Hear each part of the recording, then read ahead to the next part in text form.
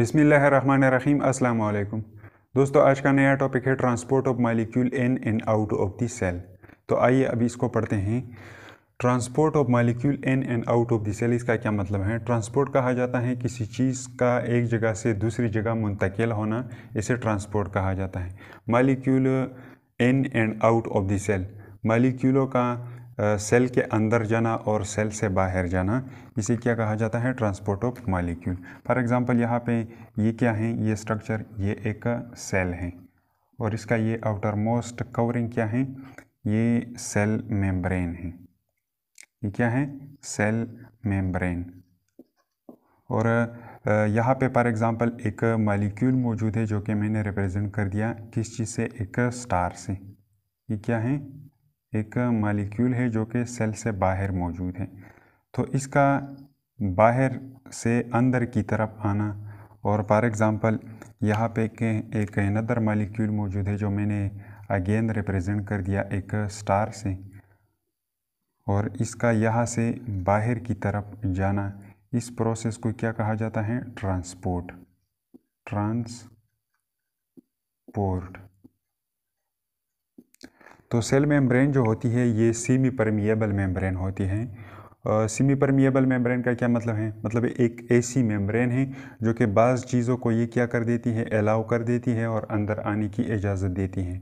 और बाज़ चीज़ों को ये क्या करती है? नेगलेक्ट कर देती है और अंदर आने की इजाज़त नहीं देती। तो ये क्या है? सेलेक्टिव सेलेक्टिवली परमिएबल मेम्ब्रेन होती हैं। और ये मेम्ब्रेन क्या करती हैं?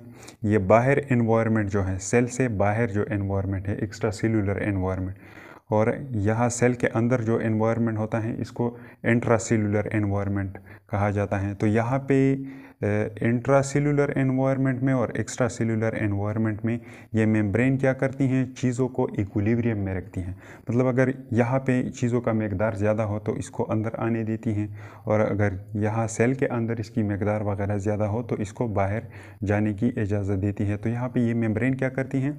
इन दो एनवायरनमेंट को आपस में इक्विलिब्रियम में रखती हैं। तो अब ये ट्रांसपोर्ट प्रोसेस सेल के लेवल पे किस तरह होता है? Basically it is of two type बुनियादी तौर पे यहाँ पे जो ट्रांसपोर्ट मेकेनिज़म होता है सेल मेम्ब्रेन में, ये बुनियादी तौर पे दो टाइप का होता है। एक को कहा जाता है एक्टिव ट्रांसपोर्ट और दूसरे को कहा जाता है पेशियो ट्रांसपोर्ट आज के लेक्चर में हम सिर्फ़ फेसियो ट्रांसपोर्ट के बारे में पढ़ेंगे। एक्टिव ट्रांसपोर्ट के ऊपर इंशाल्लाह हम नेक्स्ट लेक्चर करवाएँगे। तो अब ये पेशियो ट्रांसपोर्ट क्या है? The movement of molecule from a region of higher concentration to a region of lower concentration across a cell membrane without the expenditure of energy is called passive transport ये patio transport जो है ये एक ऐसी transport है जिसमें क्या होता है फॉर एग्ज़ाम्पल यहाँ पे एक मालिक्यूल है जो मैंने रिप्रेजेंट कर दिया एम से और इसका मकदार यहाँ पे क्या है ज़्यादा है ये क्या है एम मालिक्यूल है और इसका मकदार यहाँ पे हाई है तो इस हाई कंसंट्रेशन रीजन से, ये क्या है? हायर कंसंट्रेशन रीजन है। तो यहाँ से इसका मूवमेंट होना, इस सेल मेम्ब्रेन को क्रॉस करते हुए सेल के अंदर जाना, या अगर फॉर एग्ज़ाम्पल एक नदर मालिक्यूल है जो मैंने रिप्रेजेंट कर दिया, किस चीज़ से? मैंने रिप्रेजेंट कर दिया एम से। सॉरी एन से। एन से मैंने क्या कर दिया? रिप्रेजेंट कर दिया।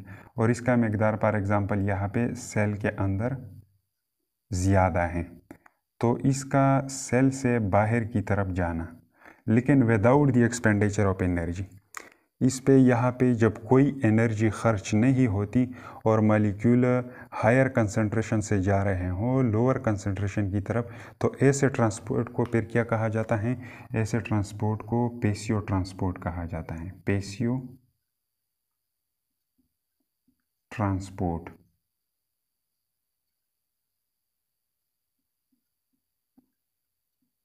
क्योंकि यहाँ पे क्या होती हैं कंसंट्रेशन की बुनियाद पे मालिक्यूलों की मूवमेंट होती हैं और यहाँ पे कोई एनर्जी खर्च नहीं होती। तो ऐसे मूवमेंट को क्या कहा जाता है? ऐसे मूवमेंट को, या ऐसे ट्रांसपोर्ट को क्या कहा जाता है? पेशियो ट्रांसपोर्ट अब टाइप देखते हैं कि स्पेसियो ट्रांसपोर्ट के टाइप कितने हैं। इसके चार टाइप पाए जाते हैं। फ़र्स्ट वन जो है वो है सिंपल डिफ्यूजन दूसरा है ओस्मोसिस तीसरा है पिसिलिटेटेड डिफ्यूजन और चौथा जो है वो है वेजिकुलर ट्रांसपोर्ट तो इस ओस्मोसिस पे हम ऑलरेडी टॉपिक करवा चुके हैं और यहाँ पे ये सिंपल डिफ्यूजन और फैसिलिटेटेड डिफ्यूजन इन दोनों को इंशाल्लाह इस लेक्चर में डिस्कस कर लेंगे और एक रह जाता है विजिकुलर ट्रांसपोर्ट इसके ऊपर इंशाल्लाह एक अलग वीडियो लेक्चर शूट करवाएँगे। तो सबसे पहले पढ़ते हैं सैंपल डिफ्यूजन तो सैंपल डिफ्यूजन के लिए अगेन हमने क्या कर दिया है? यहाँ पे ये सेल कंसिडर कर दिया। तो सैंपल डिफ्यूजन किस तरह होता है? तो बेसिकली दो मालिक्यूल है जो कि सिंपल डिफ्यूजन के ज़रिए इनका ट्रांसपोर्ट होता है मेम्ब्रेन के मेम्ब्रेन को क्रॉस करते हुए। तो वो कौन से दो मालिक्यूल हैं? वो दो मालिक्यूल हैं, एक है ऑक्सीजन मालिक्यूल और दूसरा है carbon dioxide molecule oxygen cell को बाहर से आता है और कार्बन डाइऑक्साइड सेल के अंदर प्रोड्यूस होता है, क्योंकि सेल के अंदर क्या होती है? मेटाबॉलिक एक्टिविटी होती है तो यहाँ पे कार्बन डाइऑक्साइड फॉर्म होता है। तो ये दोनों क्या हैं? ऑक्सीजन मालिक्यूल भी क्या है? नॉन पोलर मालिक्यूल है, और ये भी क्या है? नॉन पोलर मालिक्यूल है। तो यहाँ पे ये मेम्ब्रेन के अंदर क्या मौजूद है? लिपिड बाई लेयर मौजूद है तो वो भी क्या है? लिपिड भी क्या होता है? नॉन पोलर होता है। तो लाइक डिजोल्व लाइक जो भी चीज़ें आपस में सेम होती हैं, वो एक दूसरे के अंदर हल होती हैं। तो यहाँ पे ये ऑक्सीजन मालिक्यूल डायरेक्टली इस लिपिड बाइलेयर में डिज़ोल्व होंगे और इसी तरह सेल के अंदर ट्रांसपोर्ट हो जाएँगे। और इसके अलावा ये कार्बन डाइऑक्साइड मालिक्यूल जो हैं, ये भी सेल से बाहर फ्रीली जा सकते हैं, क्योंकि ये भी क्या हैं लिपिड सोलूबल होते हैं। तो यहाँ पे मेम्ब्रेन को ये दोनों क्या कर सकते हैं? डायरेक्टली क्रॉस कर सकते हैं, क्योंकि ये दोनों क्या हैं? नॉन पोलर मालिक्यूल है। और, यहाँ पे इन पे कोई एनर्जी स्पेंड नहीं होती तो ये क्या है? ये अगेन पेशियो ट्रांसपोर्ट का एक टाइप है। और ऐसे डिफ्यूजन को क्या कहा जाता है? ऐसे डिफ्यूजन को सिंपल डिफ्यूजन कहा जाता है। तो सिंपल डिफ्यूजन अब क्या है? सिंपल डिफ्यूजन सबसे पहले definition the random movement of molecule random कहा जाता है बेतरतीब को। मतलब ऐसा नहीं है कि ये बस इसी तरह डायरेक्टली इस डायरेक्शन में सीधा इसी तरह इसके अंदर आएँगे। मतलब ये मालिक्यूल इसी तरह यहाँ पे मूवमेंट कर सकते हैं। ऐसे जिग जाग मूवमेंट करके इस मेम्ब्रेन के अंदर एंटर हो सकते हैं। तो ये क्या होता है? ये सिंपल डिफ्यूजन ये रेंडम मूवमेंट होता है मालिक्यूलों का। From a region of higher concentration higher concentration से। यहाँ पे ऑक्सीजन मालिक्यूलों का कंसनट्रेशन क्या होता है? ये बाहर एनवायरनमेंट में हाई होते हैं। तो यहाँ से इनकी मूवमेंट हो जाती है। To region of lower concentration और यहाँ पे इसका मकदार क्या होता है? सेल के अंदर यहाँ पे कम होता है, क्योंकि यहाँ पे ऑक्सीजन मेटाबॉलिक एक्टिविटी में यूज़ होता है, इसलिए इसका अमाउंट यहाँ पे कम होता है। और कार्बन डाइऑक्साइड का मकदार यहाँ पे सेल के अंदर ज़्यादा होता है, क्योंकि मेटाबॉलिक एक्टिविटी यहाँ पे अंदर होती है और इसके नतीजे में क्या बनता है? कार्बन डाइऑक्साइड मालिक्यूल बन जाते हैं। Without the use of energy और इन चीज़ों का मूवमेंट होता है रेंडम मूवमेंट होता है हायर कंसनट्रेशन वाले रीजन से toward the lower concentration region की तरफ़ without the use of energy और यहाँ पे इसके ऊपर कोई एनर्जी स्पेंड नहीं होती तो ऐसे डिफ्यूजन को सिंपल डिफ्यूजन कहा जाता है। नेक्स्ट वन है एक्सप्लेनेशन एक्सप्लेनेशन में क्या है? ट्रांसपोर्ट ऑफ़ ऑक्सीजन ऑक्सीजन का ट्रांसपोर्ट एंड कार्बन डाइऑक्साइड और कार्बन डाइऑक्साइड का transport occur through simple diffusion. इन दोनों का ट्रांसपोर्ट किस चीज़ के ज़रिए होता है? सिंपल डिफ्यूजन के ज़रिए होता है। नेक्स्ट वन क्या है? नेक्स्ट वन है पिसिलिटेटेड डिफ्यूजन। अब ये पिसिलिटेटेड डिफ्यूजन किस तरह डिफ्यूजन है? इसमें भी क्या होती हैं? मालिक्यूल की मूवमेंट होती है हायर कंसनट्रेशन रीजन वाले से towards the lower concentration across the cell membrane without the use of energy लेकिन इसके लिए क्या एक पेसिलिटी वाला मटेरियल ज़रूरी होता है। क्या ज़रूरी होता है? फैसिलिटी मटेरियल मतलब कैरियर मटेरियल इनके लिए ज़रूरी होते हैं। तो यहाँ पे कुछ ऐसे मालिक्यूल हैं जो अपनी साइज़ की वजह से और पोलैरिटी की वजह से ये डायरेक्टली इसी तरह मेम्ब्रेन को क्रॉस करते हुए सेल के अंदर या सेल से बाहर नहीं जा सकते। तो वो कौन से मालिक्यूल हैं? वो है वाटर मालिक्यूल और इसके अलावा ग्लूकोज मालिक्यूल और इसके अलावा वन जो हैं आइंस चार्ज मालिक्यूल ये तीन मालिक्यूल जो हैं, इनका डायरेक्टली मूवमेंट नहीं होता मतलब ये डायरेक्टली मेम्ब्रेन को क्रॉस नहीं कर सकती। तो इसके लिए यहाँ पे मेम्ब्रेन के अंदर कुछ कैरियर मालिक्यूल या protein molecule carrier protein molecule मौजूद होते हैं। तो सबसे पहले एच टू ओ मालिक्यूल जो हैं, इनके लिए यहाँ पे ट्रांसपोर्टर या कहें हम या कैरियर मालिक्यूल हम कहें ये यहाँ पे इस मेम्ब्रेन के अंदर मौजूद होते हैं। और इन कैरियर प्रोटीन या ट्रांसपोर्टर के ज़रिए क्या वाटर मालिक्यूलों का ट्रांसपोर्ट किया जाता है? और ये मालिक्यूल कुछ इस तरह होते हैं। क्योंकि वाटर जो है ये पोलर मालिक्यूल है और पोलर मालिक्यूल नॉन पोलर में डिज़ोल्व नहीं हो सकती। तो इसके लिए यहाँ पे क्या मौजूद होते हैं? कैरियर मालिक्यूल मौजूद होते हैं। तो इसके ज़रिए ये क्या हो सकती हैं? वाटर मालिक्यूल का ट्रांसपोर्ट हो सकता है। और ये मालिक्यूल प्रोटीन से बने होते हैं। ये किस चीज़ से बने होते हैं? ये प्रोटीन से बने होते हैं। प्रोटीन्स ये प्रोटीन से बने होते हैं। नेक्स्ट वन जो है, बाज़ चार्ज मालिक्यूल जो होते हैं, वो भी पोलर होते हैं, वो भी इस नॉन पोलर मेम्ब्रेन के अंदर डिज़ोल्व नहीं हो सकते हैं। तो उनके लिए भी यहाँ पे कैरियर मालिक्यूल मौजूद होते हैं। तो यहाँ पे मैं दो मालिक्यूलों का एग्ज़ाम्पल दूँगा। एक है कैल्शियम। इसकी मकदार क्या होती हैं? सेल से बाहर इन्वायरमेंट में ज़्यादा होती हैं। और इसके अलावा सोडियम जो है, इसकी भी अमाउंट एक्स्ट्रा सेलुलर इन्वायरमेंट में ज़्यादा होती हैं।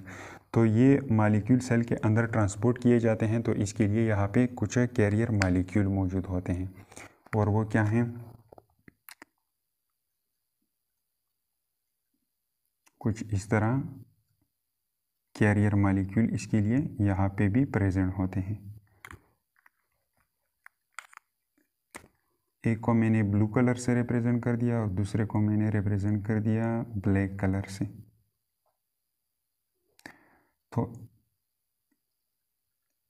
इसका ट्रांसपोर्ट भी इन कैरियर प्रोटीन के ज़रिए किया जाता है।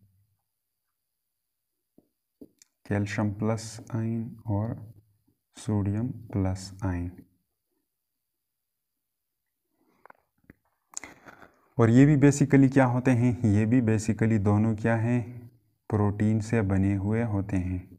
ये भी क्या हैं? ऐसे स्ट्रक्चर्स हैं, ऐसे ट्रांसपोर्टर हैं जो कि किस चीज़ से बने होते हैं? प्रोटीन से बने होते हैं। प्रोटीन्स। नेक्स्ट वन रह जाता है ग्लूकोज तो अब ग्लूकोज की ट्रांसपोर्ट यहाँ पे किस तरह होती है?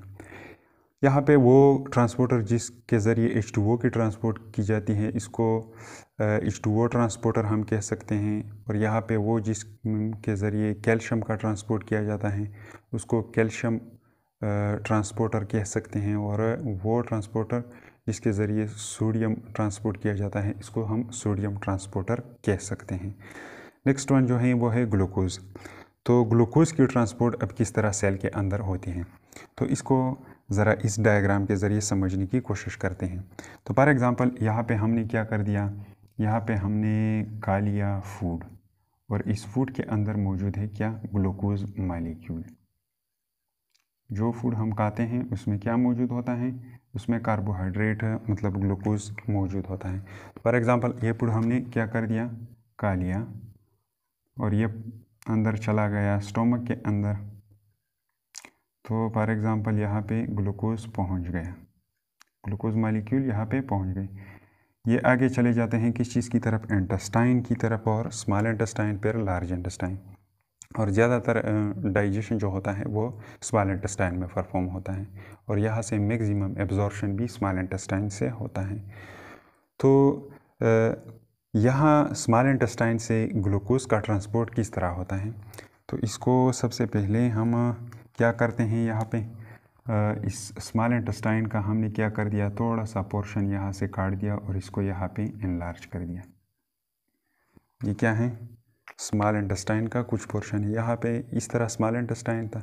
इसको हमने काट दिया और इसको फिर इस तरह सीधा रख दिया आप लोगों के सामने। तो इसका स्ट्रक्चर अंदर से कुछ इस तरह होता है। यहाँ पे ये अंदरूनी कैविटी जो है, इसको एंटेस्टनल लुमिन कहा जाता है। एंटस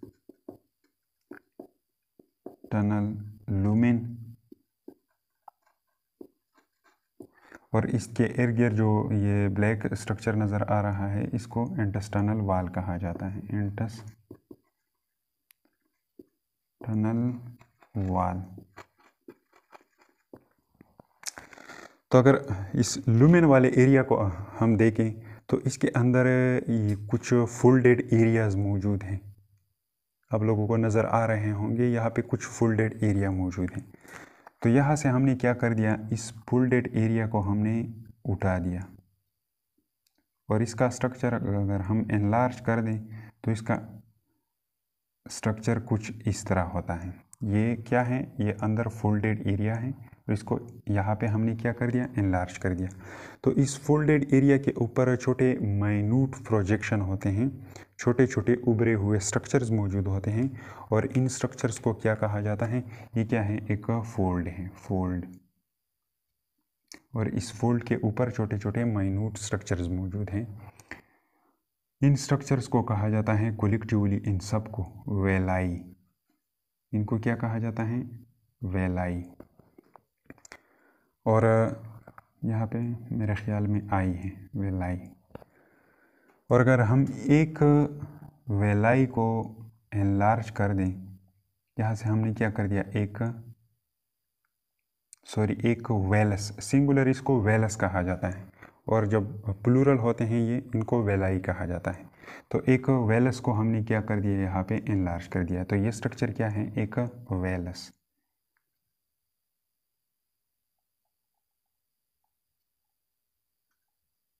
ये क्या है? एक वेलस है।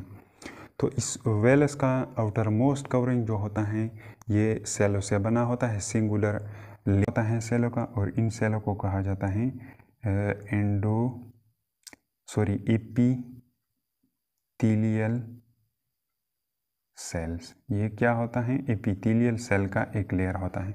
और इस वेलाई, सॉरी, इस वेलस के अंदर ब्लड वेसल मौजूद होते हैं। ये क्या है? Blood vessel.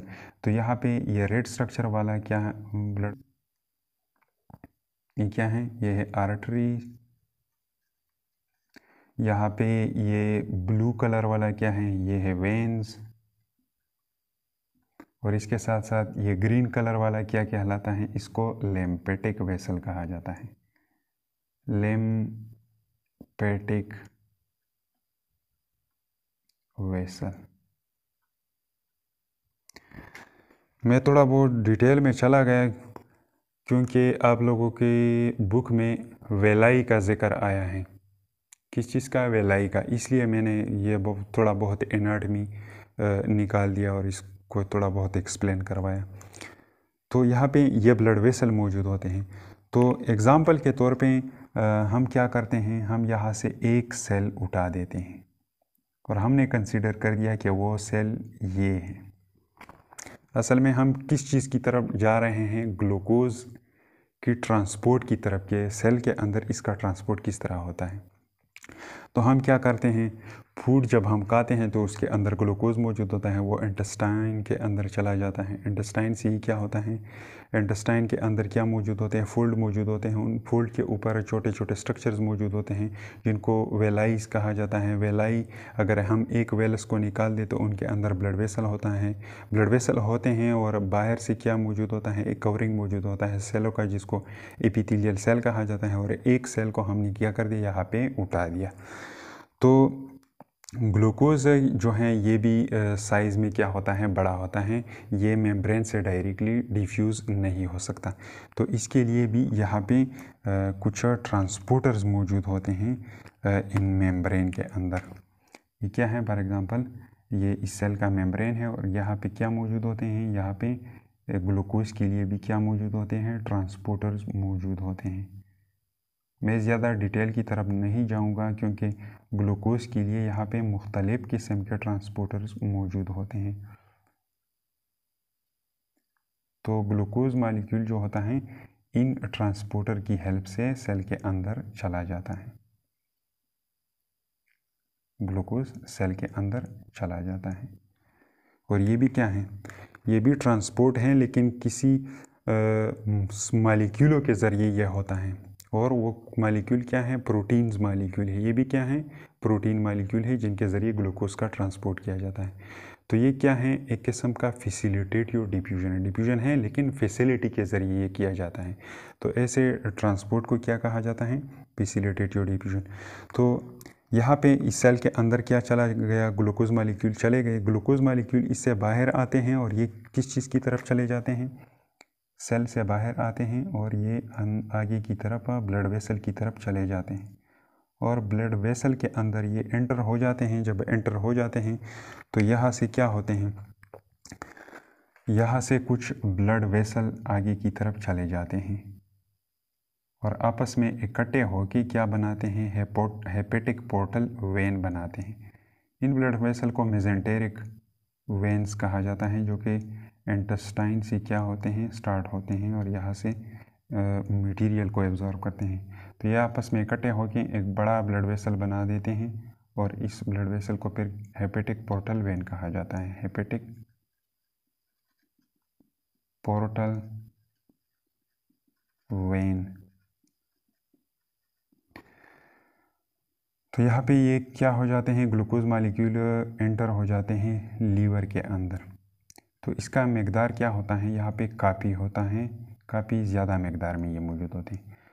तो कुछ जो होते हैं वो यहाँ पे स्टोर किए जाते हैं ग्लाइकोजन की शक्ल में। ग्लाइकोजन की शक्ल में। और बाकी जो होते हैं उनको भेज दिया जाता है किस चीज़ की तरफ़? जर्नल सर्कुलेशन की तरफ़। और फिर जर्नल सर्कुलेशन की हेल्प से इनको सारे बॉडी में सर्कुलेट किया जाता है। कुछ मालिक्यूल यहाँ पे आ जाते हैं और कुछ यहाँ पे ग्लाइकोजन की शक्ल में यहाँ पे स्टोर हो जाते हैं, जो कि फ्यूचर में इस्तेमाल किए जाते हैं, जो बॉडी को ज़रूरत होती है। ये स्ट्रक्चर क्या रिप्रेजेंट करता है? जर्नल, ब्लड सर्कुलेशन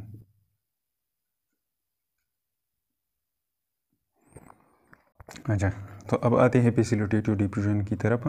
पिसिलिटेटिव डिफ्यूजन क्या है? Definition the movement of molecule इसमें भी मालिक्यूल की मूवमेंट होती है from a region of higher concentration higher concentration वाले रीजन से to to a region of lower concentration lower concentration वाले रीजन की तरफ़। Without the help of sorry with the help of transport protein transport protein की मदद से।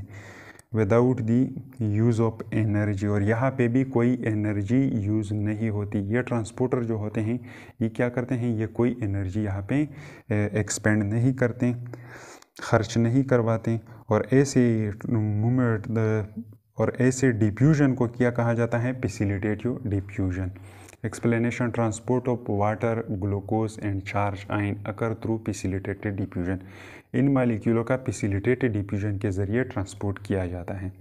Glucose है transported from the intestinal lumen glucose जो होता है इंटेस्टनल लूमेन से क्या, किया जाता है ट्रांसपोर्ट किया जाता है टू वेलाई वेलाई की तरफ़, और वेलाई से ये क्या लीवर की तरफ़, और excess glucose is converted into glycogen यहाँ पे जो एक्सीज ग्लूकोज होता है, वो ग्लाइकोजन में कन्वर्ट किया जाता है, और बाकी जो होता है, उसको जर्नल ब्लड सर्कुलेशन की तरफ़ भेज दिया जाता है। ये था पेसियो ट्रांसपोर्ट। उम्मीद है आप लोगों को समझ में आ चुका होगा। लास्ट में आप लोगों को एक बात और बताना चाहता हूँ। आप लोगों के बुक में इन दो मालिक्यूलों के बारे में वाटर और ग्लूकोज, इन दो मालिक्यूलों के बारे में लिखा है कि ये सैंपल डिफ्यूजन के ज़रिए क्या होते हैं, इनका ट्रांसपोर्ट किया जाता है। लेकिन सैंपल डिफ्यूजन के ज़रिए इन दोनों का ट्रांसपोर्ट नहीं किया जाता। ये दो वाटर मालिक्यूल और ग्लूकोज मालिक्यूल जो होते हैं, ये पिसिलिटेटेड डिफ्यूजन के ज़रिए इसका ट्रांसपोर्ट किया जाता है। तो यहाँ पे मैंने इन दोनों को किस चीज़ में शामिल कर दिया? पिसिलिटेटेड डिफ्यूजन में इन दोनों को शामिल कर दिया। तो ये बात आप लोगों की जहन में होनी चाहिए। यहाँ पे ये क्या था? ये था फिसिल sorry, simple diffusion. Simple diffusion shortcut में मैंने एस डी से रिप्रेजेंट कर दिया।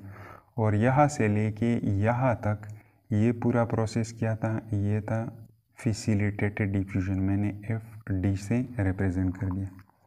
अच्छा तो ये था फेसियो ट्रांसपोर्ट उम्मीद है आप लोगों को समझ में आ चुका होगा।